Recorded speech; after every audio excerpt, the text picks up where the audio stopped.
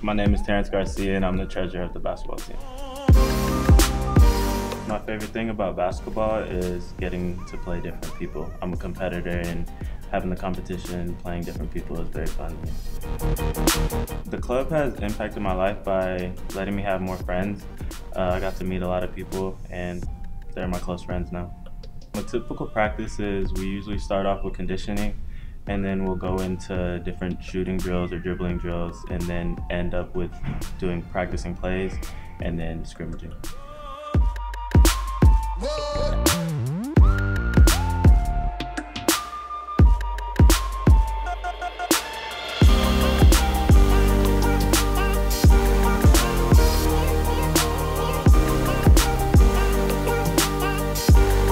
My name is Nicola Vega, and I'm the vice president for the men's basketball club.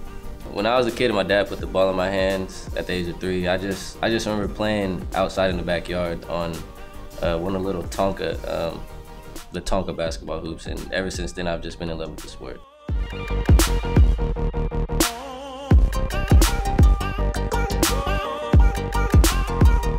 What somebody new should expect when they first join the team is to just realize that they're gonna have to put in a lot of hard work to be able to play and get enough playing time and just to succeed in the men's basketball club.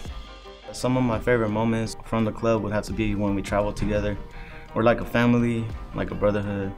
We have a lot of fun on the bus trips. We do rap battles, make fun of each other.